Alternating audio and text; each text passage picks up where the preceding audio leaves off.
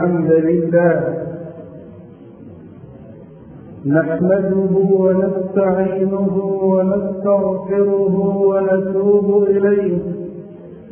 ونعوذ بالله من شرور أنفسنا ومن سيئات أعمالنا.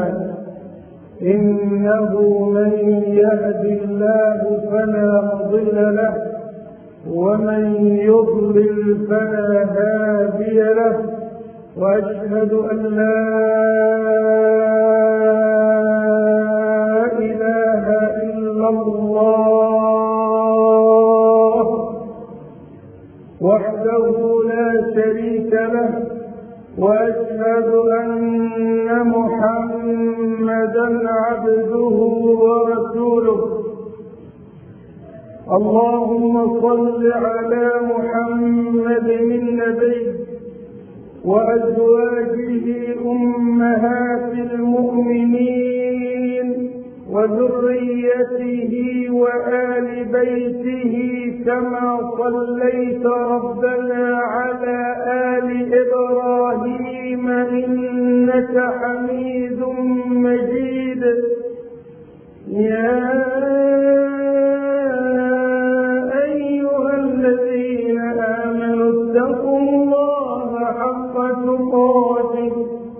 ولا تموتن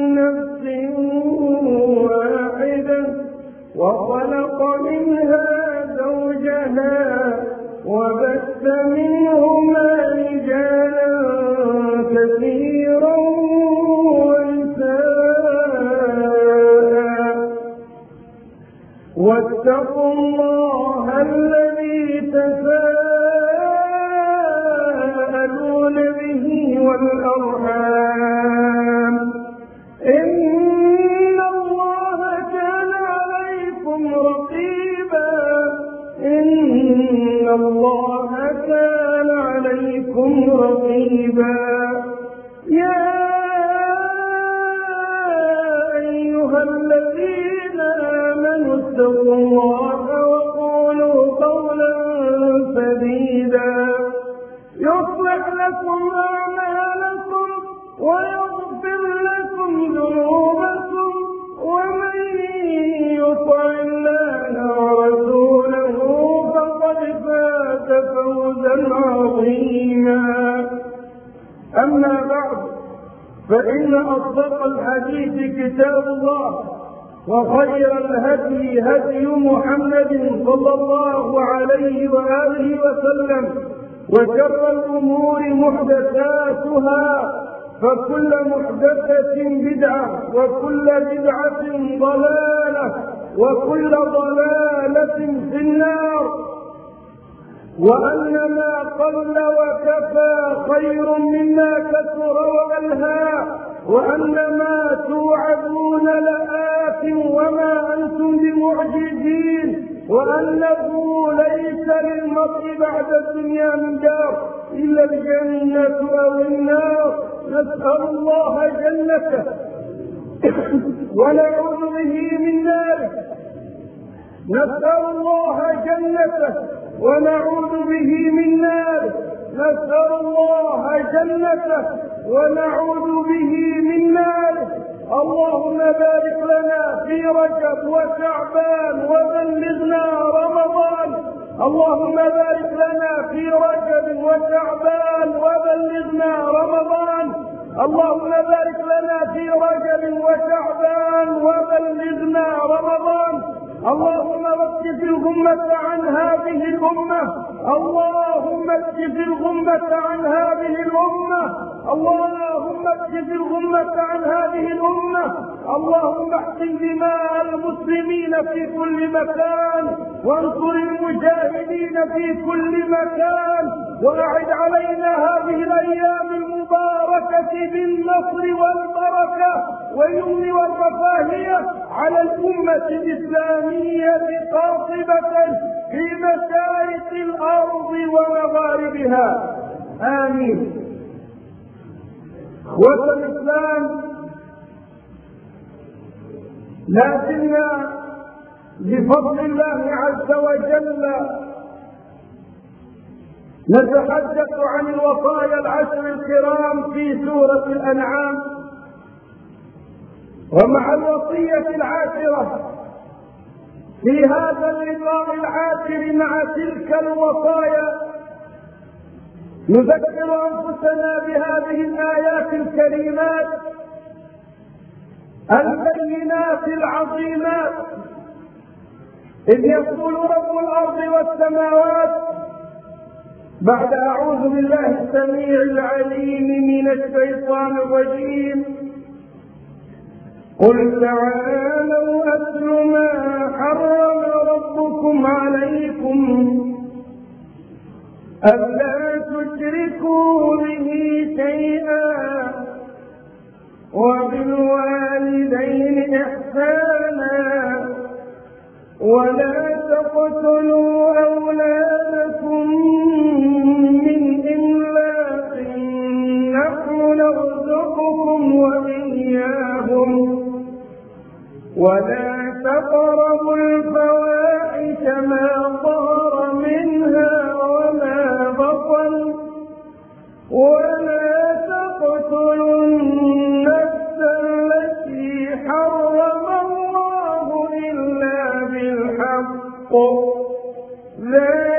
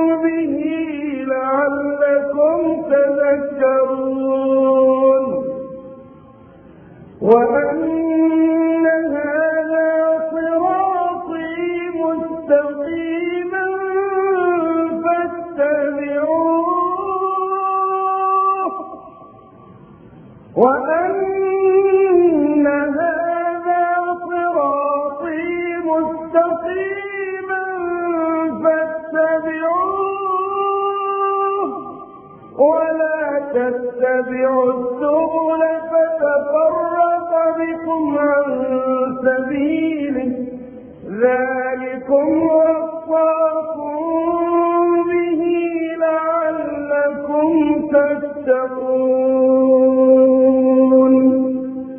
صدقت ربنا وبلغ رسولك صلى الله عليه وآله وسلم.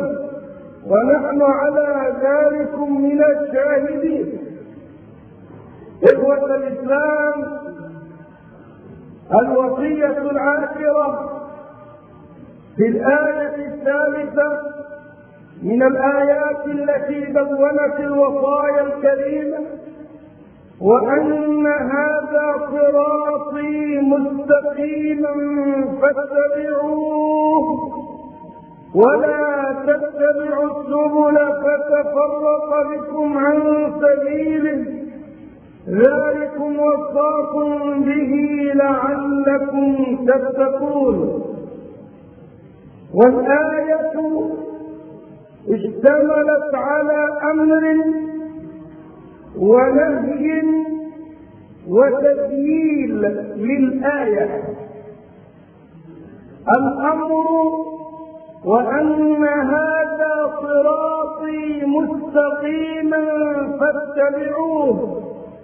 النهي ولا تتبعوا السبل فتفرق بكم عن سبيله. السبيل ذلكم وصاكم به لعلكم تتقون. وأعظم به من أمر وأعظم به من نهي وأعظم به من تسهيل وخاتمة.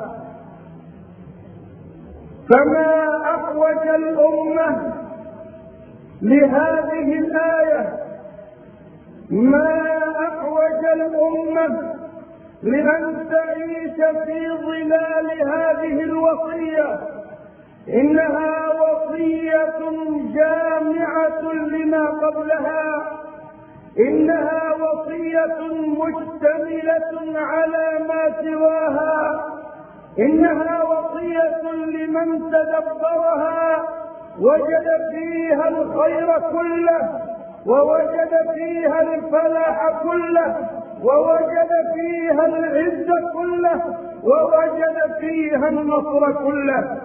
وأمة أحوج ما تكون إلى النصر وأحوج ما تكون إلى العزة وأحوج ما تكون إلى الخيرية لأن الأمة نأت عن الخيرية بعيدا.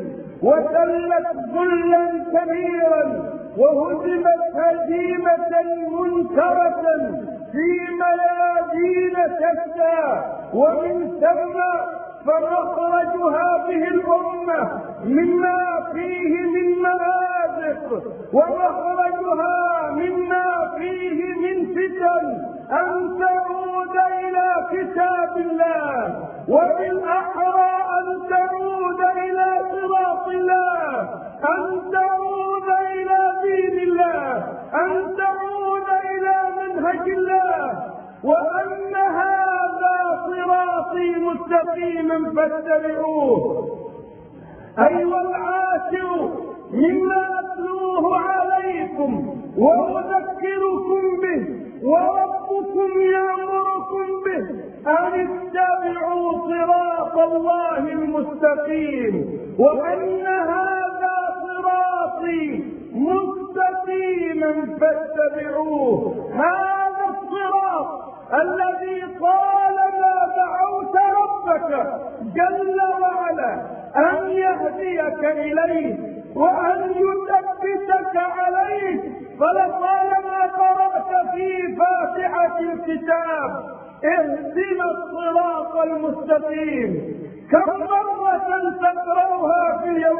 اليوم والليلة إنك تقرأها في الصلاة المفروضة سبعة عشر مرة وفي النافلة نحوا من ذلك أو أكثر من ذلك.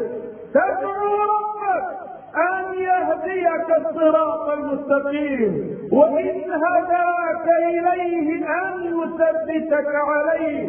اهدنا الصراط المستقيم. هو الذي يقوله الله هنا وأن هذا صراطي مستقيما فاتبعوه.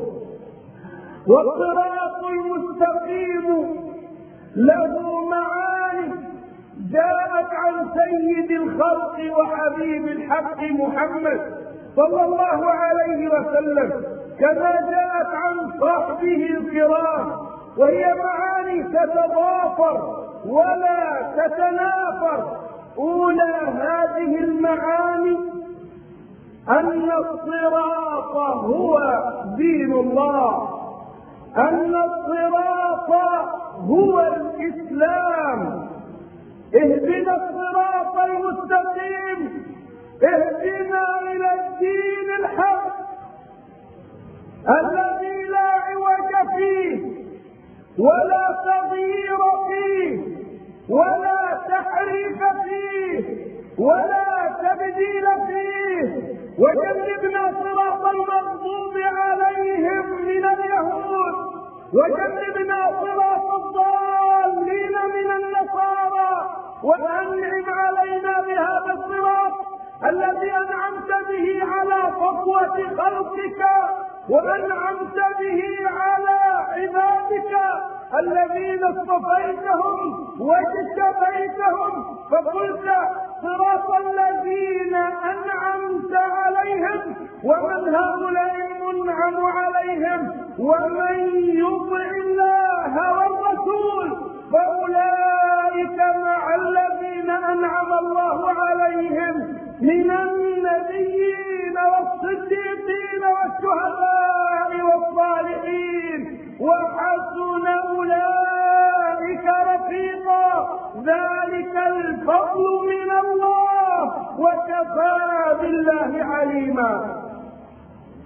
فالصراط المستقيم هو الإسلام. قاله النبي صلى الله عليه وسلم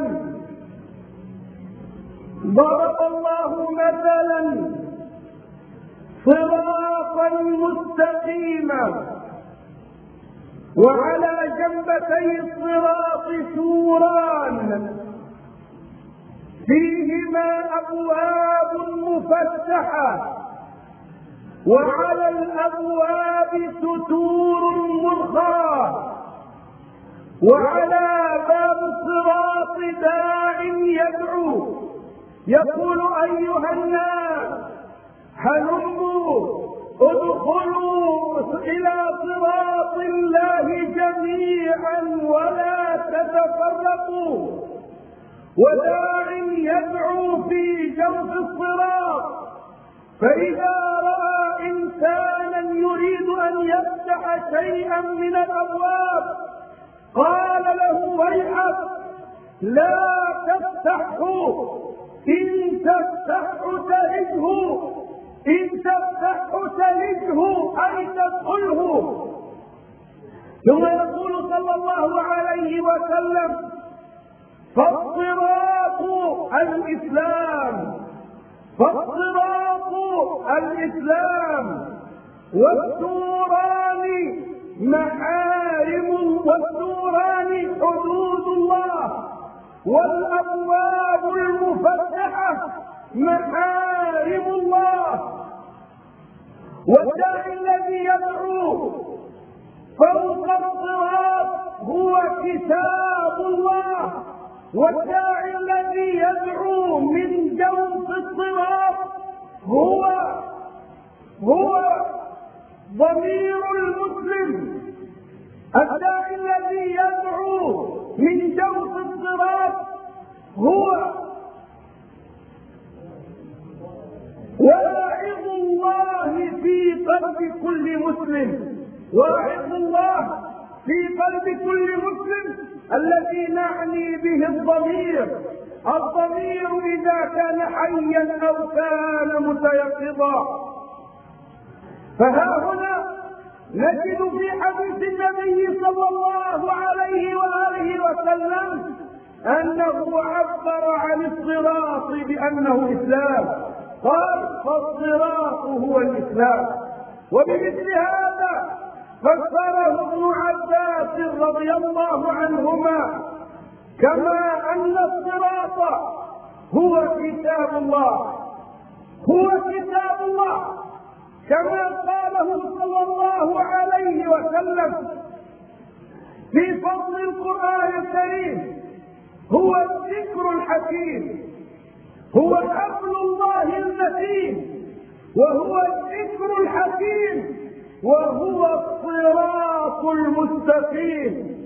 وقال علي رضي الله عنه الصراط المستقيم هو كتاب الله تعالى. والصراط المستقيم كما فسره السلف الصالح. قال ابن مسعود الصراط هو ما تركنا عليه محمد. صلى الله عليه وسلم. أنه عندنا وطرفه في الجنة. الصراط هو ما تركنا عليه النبي محمد صلى الله عليه وسلم. وقال غيره الصراط المستقيم هو الحق. وقال آخرون الصراط المستقيم هو الاقتداء بالنبي محمد صلى الله عليه وسلم وبالذين من بعده أبي بكر وعمر رضي الله عنهما وأرضاهما. وهي أقوال كما تراها تفسر الصراط. كل على النحو الذي اقترب من ذهنه أو أسعفه الدليل. ولا شك أنها متضافرة متآلفة متعارضة. فمن اتبع القرآن اتبع سنة النبي العدنان صلى الله عليه وسلم. ومن اتبع سنة النبي صلى الله عليه وسلم فلا بد وأن يتبع من جاء بعده من خلفائه الراشدين سيما من خصهم بالذكر. اقتدوا بي وبالذين من بعدي أبي بكر وعمر. فكان هذا على الخصوص مرة. وعلى العموم أخرى لما قال صلى الله عليه وسلم فعليكم بسنتي وسنة الخلفاء الراشدين المهديين تمسكوا بها وعضوا عليها بالنواجذ.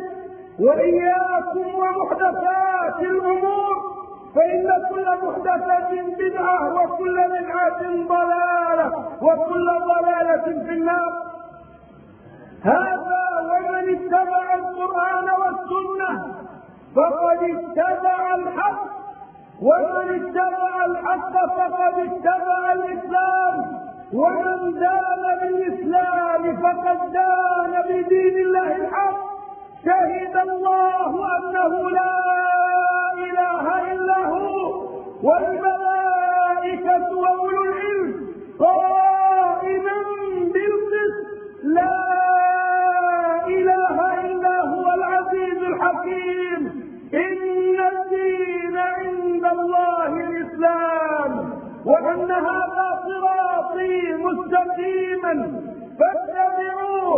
اتبعوا هذا الدين ولا تتبعوا دينا غيره فما أرسل الله رسولا بغير الإسلام ولا أنزل كتابا يدعو إلى غير التوحيد وإلى غير الإسلام. كل الرسالات كانت بمثابة مقدمات وتمهيدات للرسالة الخاتمة العصمى. على يد إمام الأنبياء وسيد أهل الأرض والسماء محمد صلى الله عليه وسلم. فأنزل الله قوله اليوم أكملت لكم دينكم وأتممت عليكم نعمتي ورضيت لكم الإسلام دينا.